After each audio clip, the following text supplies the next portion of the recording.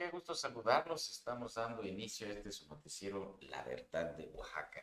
Sí, sí decimos la verdad, no tenemos compromiso más que contigo que amablemente nos ves a través de alguna de las redes sociales o del mismo internet www.laverdadeoaxaca.com o Facebook, Twitter, Instagram, YouTube, TikTok, ¿qué otras tenemos?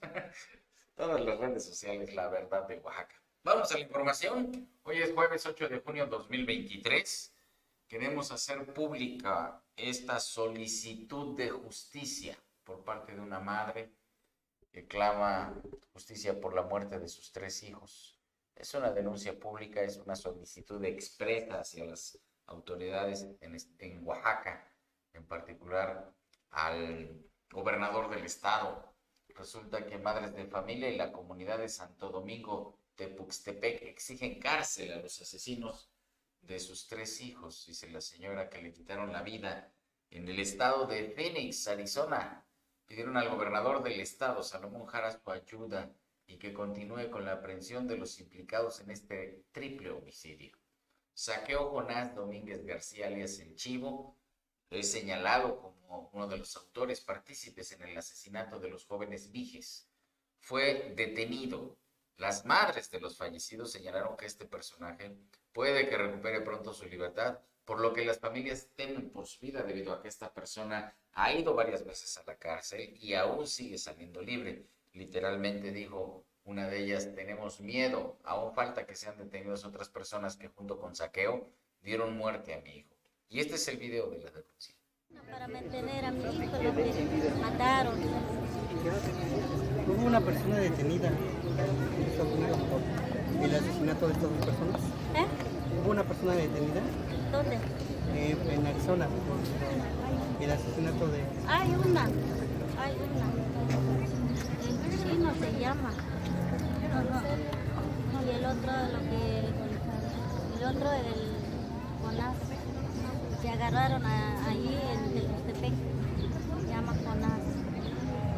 Pero queremos justicia, pues, para que no, que no se libre esa persona. Porque hacen daño, pues. Ello he sufrido. Pues en pantalla es una de las madres que pide justicia. Obviamente tiene dificultad para poder interactuar con el español, pero este es el sentir del clamor por justicia debido a este triple homicidio. Ellos fueron localizados en un lote baldío en el estado de Phoenix, Arizona. Herminio Martínez, Isauro Martínez y Abimael Jiménez. Y eh, los encontraron muertos. Las madres de familia señalaron que sus hijos fueron en busca de una mejor vida debido a que en Tepuxtepec es un municipio de muy alta marginación y la única forma de ganarse la vida es migrando hacia el extranjero. Pero esta vez los sueños fueron frustrados por estos sujetos que les quitaron la vida y lo que están pidiendo es justicia. Se la piden a Salomón Jara, gobernador de Oaxaca, Andrés Manuel López Obrador, presidente de México, que escuche a las mujeres indígenas de Tepuxtepec. Seguiremos el caso y les informaremos después. Bueno, vamos a otro tema. Inician las jornadas de movilizaciones de la sección 22 en Oaxaca. La CENTE, Coordinadora Nacional de Trabajadores de la Educación de la sección 22, realizó cierres en algunos puntos de la capital oaxaqueña. Otra vez. Esta mañana los maestros habían cerrado el crucero del ADO en la capital oaxaqueña. También hicieron presencia en la caseta de cobro de la supercarretera en San Pablo Huitzo, en la macroplaza de Santa Lucía del Camino y en el Congreso del Estado. Con estos cierres, cientos, y no es que miles de oaxaqueños nos hemos visto afectados en nuestras actividades laborales. En el ADO las corridas fueron suspendidas de la terminal. Se desconoce si hubo otro punto de salida. Y para hoy jueves se supone que la Comisión Política iba a mantener la mesa de trabajo en la Secretaría de Educación Pública en la Ciudad de México, mientras que en el Congreso local iban a continuar con la mesa de trabajo para el análisis de la creación de la nueva ley estatal de educación. En resumidas cuentas, otra vez boicoteando el estado de Oaxaca a los maestros con exigencias muy particulares, muy personales, cosas que no tendrían por qué afectar al resto de los ciudadanos de Oaxaca. Vuelve a hacerse presente la sección 22 y para nadie es un secreto que están siendo movilizados, empujados por quienes solamente quieren generar conflicto en el Estado. y los demás, y los oaxaqueños, ¿qué culpa tenemos? Arreglen sus temas y sus exigencias directamente en las mesas de negociación que les han abierto, tanto el IEPO como Secretaría de Gobierno, y dejen de estar boicoteando la poca paz que tiene Oaxaca.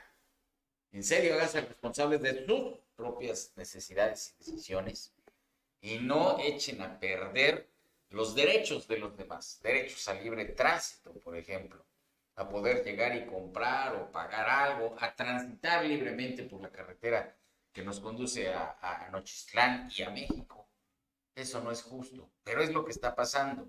Y vamos a esperar más, porque es así como funciona la sección 22, bajo presión, bajo chantajes. No es un secreto lo que estoy diciendo. Y si alguien se da por ofendido, pues aquí estamos para que hagan su derecho de réplica, pero que nos expliquen primero por qué siguen boicoteando la poca paz que apenas tiene el Estado. Vamos a otro tema. Localizaron a la adolescente desaparecida en Salina Cruz. Esto es muy lamentable. Ella desapareció el 14 de mayo de este año, hace 20 días aproximadamente. Bueno, ya fue localizada por el personal de unidad de búsqueda de personas desaparecidas y no localizadas. La ciudadanía eh, informó algunos eh, señalamientos que la menor fue resguardada para después entregarla a sus familiares. El reporte señala que esta pequeña, llamada Getsemaní de Los Ángeles, de 13 años de edad, había sido vista por última vez en el centro de la ciudad de Salina Cruz, pero sus familiares ya no supieron nada de ella. Entonces se movilizaron para localizarla a través de la vicefiscalía. Se levantó una ficha de búsqueda y con estos, esta búsqueda, con estos datos, lograron dar con el paradero de esta pequeña de 13 años este 6 de junio estaba en una terminal de autobuses de la ciudad de Oaxaca de Juárez. Se movilizó de Salina Cruz hasta Oaxaca. Ante esto, la Agencia Estatal de Investigaciones se movilizó para encontrarse con Getsemaní, llevarla al Ministerio Público de la Unidad de Búsqueda y luego entregarla finalmente con su familia. Ya para que sepa que por lo menos en este caso, un final relativamente feliz. Para empezar, fue encontrada.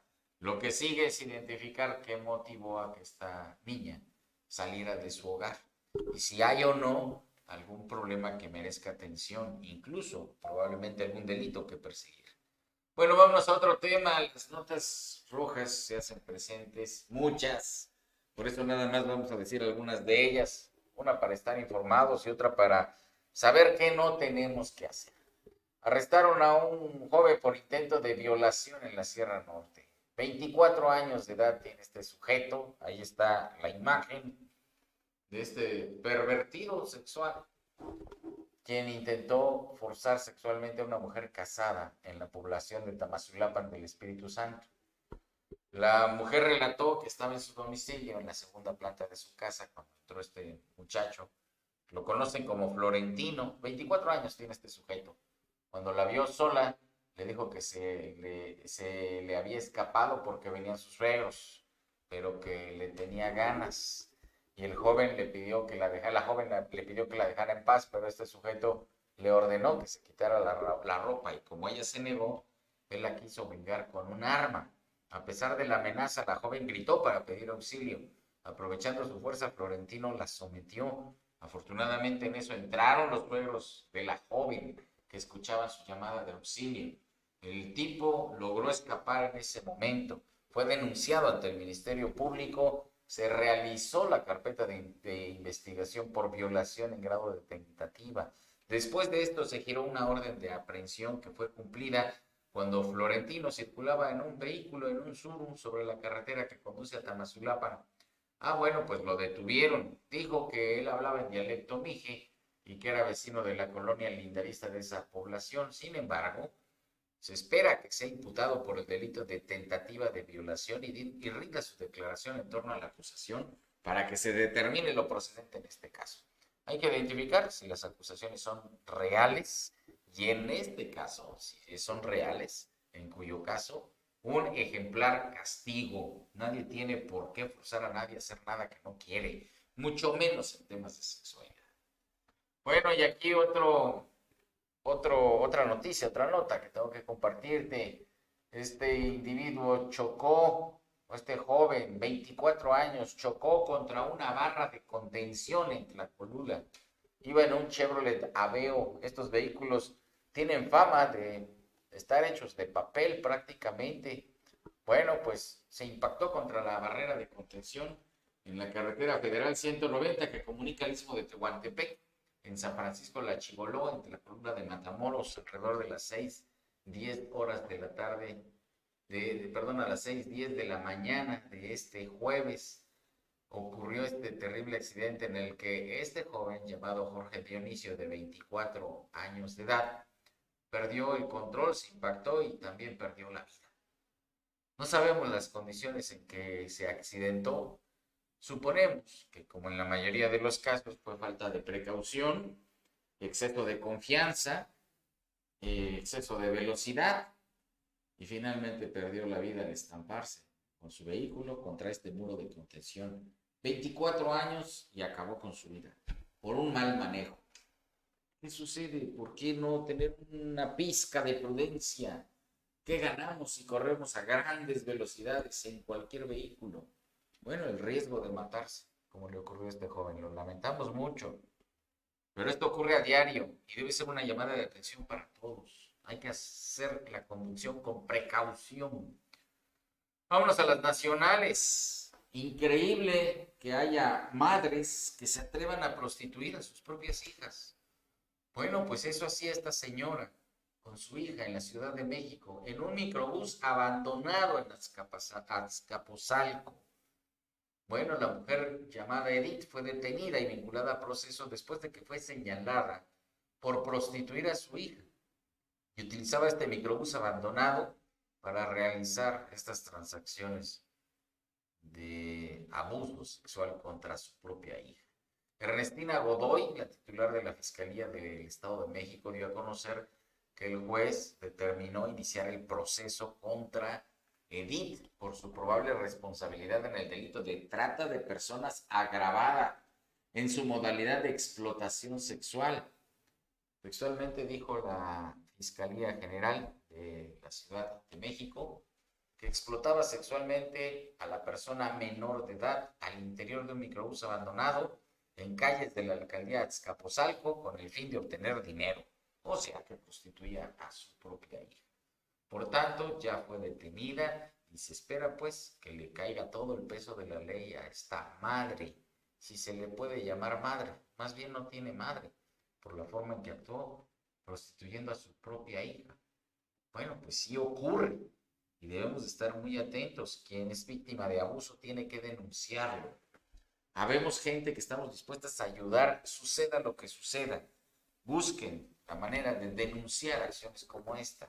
Y si tú eres sabedor de un abuso como este, ayuda a la persona que está sufriendo.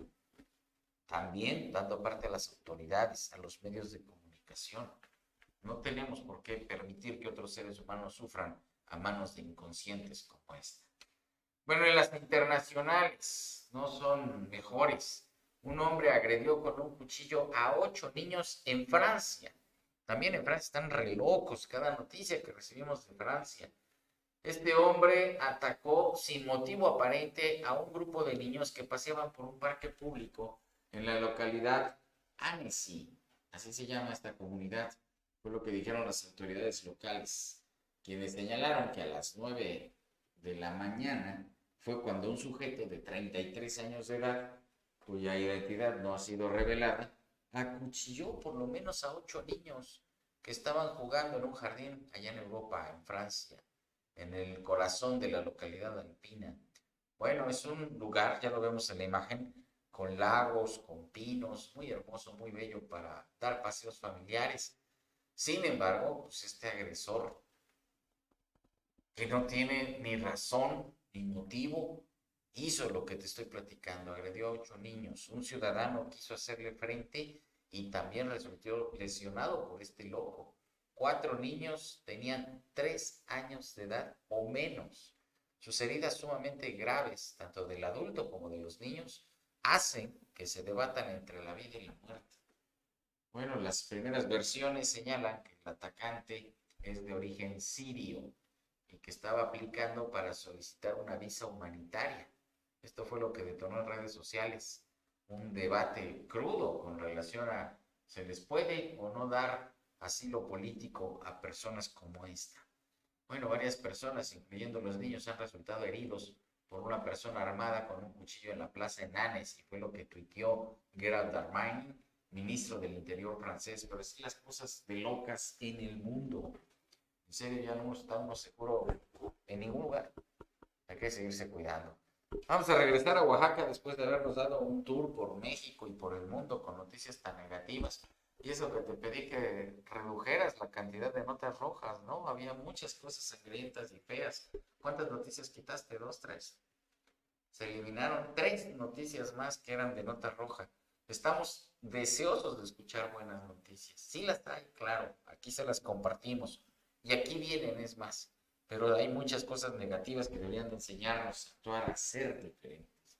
Actuar y diferentes. Bueno, por lo pronto vamos a darnos una pausita mental y te platico sobre el pronóstico del clima. Resulta que va a seguir entrando humedad a través del Océano Pacífico y por lo tanto va a seguir habiendo lluvias con intensidades diferentes, incluso algunas tormentas fuertes de rápido desplazamiento por las tardes. Va a haber mucho calor, como hoy es mucho calor, con temperaturas que alcanzan 40, 45 grados centígrados en algunos puntos de Oaxaca. Esto llama la atención porque de verdad está fuerte el calor. No olviden que apenas hace una semana sufrimos una onda de calor muy fuerte. Así que calor durante el día y lluvia durante la noche. El bochorno se hace presente, sobre todo en las zonas costeras. Así que tomar mucha agua. Vámonos a otros temas. Se sigue promoviendo el tequio en Oaxaca. El tequio es una labor comunitaria. Las personas son convocadas, vecinos, amigos, familiares, funcionarios ahora, para que se acerquen a algún punto específico a donar de su tiempo, de su trabajo, por un bien común. A limpiar las calles, a limpiar las canchas, a pintar los parques, a hacer muchas cosas. Esa es una sana costumbre que se realiza en Oaxaca y se llama tequio. Ah, bueno, pues uno de los principales promotores del tequio es nuestro amigo Noé Jara. Noé Jara es representante de Morena en el distrito 8, Oaxaca Centro. Bueno, pues también hizo tequio este domingo, dice él, estamos dispuestos a darle una mano de ayuda a Oaxaca.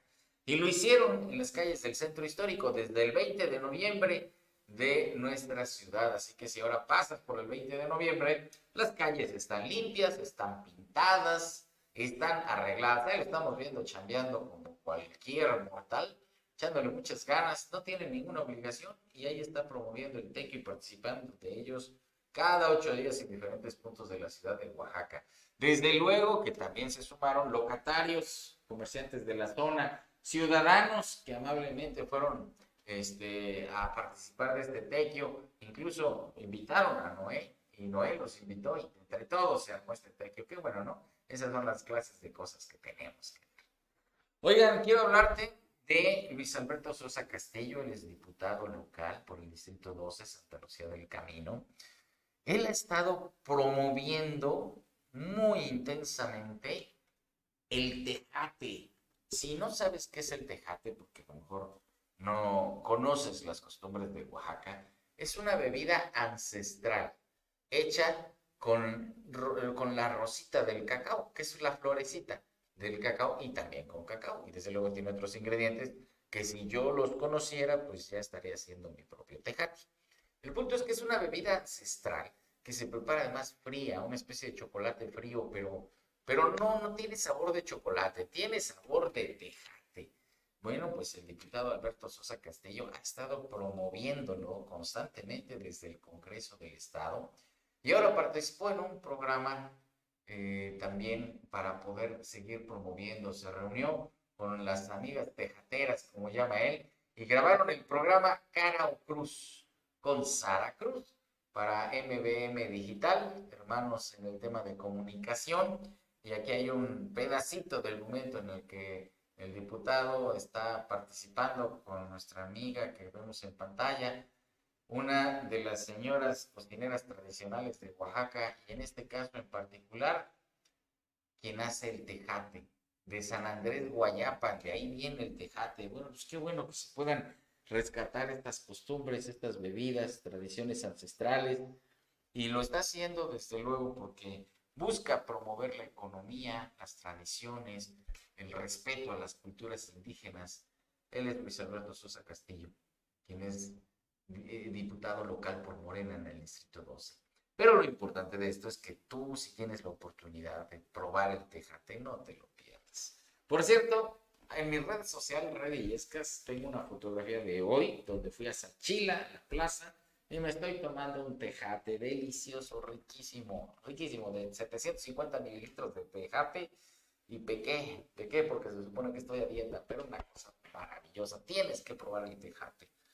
Bueno, vámonos a, otro tema, a los municipios de Oaxaca, particularmente Oaxaca de Juárez, están invitándote una vez más a que regularices tu comercio establecido y que también regularices tu impuesto predial. Hay que pagar estos impuestos. Conoce los servicios. En la agencia de policía de Cardiani vas a poder tener los servicios municipales a la mano de manera fácil y accesible. Es un programa de regularización del comercio establecido y también del impuesto predial promovido por Oaxaca de Juárez en la agencia de policía de Candiani. Domingo 11 de junio 2023. Ojo, hay gente que no puede ir al municipio porque siempre es en horarios de oficina, de 9 de la mañana a 3 de la tarde. Y coincidentemente es el horario laboral de la mayoría de las personas. Entonces, si no puedes ir normalmente entre semana al municipio, ve a la agencia de policía de Candiani este próximo domingo 11 de junio, de 9 de la mañana a 2 de la tarde. Ahí vas a poder ponerte al corriente con el impuesto predial y también con la regularización del comercio. Va a haber atención al contribuyente y habrá una ventanilla única habilitada para facilitar el empadronamiento y regularización de comercios establecidos. Nada como hacer las cosas bien, tener la conciencia tranquila. Tú puedes hacer tu negocio, si ya lo tienes, regularízalo, paga apenas un impuesto mínimo pero trabaja en orden. Ojo, negocios establecidos. No hay permisos para vendedores ambulantes, esos no existen. Los permisos, los vendedores sí un montón. Y siempre huyendo de la ley porque están fuera del marco de la ley. Pero ya está, la cita es este próximo domingo, 11 de junio, en la agencia de policía de Campián. Vamos a otro tema. Esto está muy interesante. Ojo, mis queridos adultos mayores, mis abuelitos y abuelitas. El programa de la pensión para el bienestar de las personas con discapacidad se estará activando en la Villa de Sachila del 7 al 30 de junio. Se va a llevar a cabo el registro de esta pensión bienestar para personas que tienen alguna discapacidad y desde luego también a los adultos mayores. Las oficinas de la Secretaría del Bienestar de Sachila se encuentran en el interior del Palacio Municipal y los horarios de atención son de 9 de la mañana a 3 de la tarde, de lunes a sábado.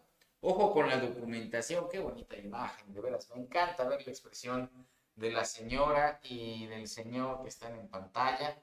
Es un apoyo para las personas que viven con alguna discapacidad. Tienes que llevar acta de nacimiento legible identificación oficial vigente, CURP, comprobante de domicilio, un certificado de discapacidad que debe ser emitido por alguna institución pública de salud, el teléfono de contacto, que es celular, y el teléfono de casa. Y entonces podrás recibir algún apoyo con relación al tema de la discapacidad. Por favor, aprovechen un beneficio que el gobierno federal otorga a través, en este caso, el registro de la Villa de Sachila. Bueno, quiero invitarte ahora a que aprendas a elaborar curados. ¿Te gustan?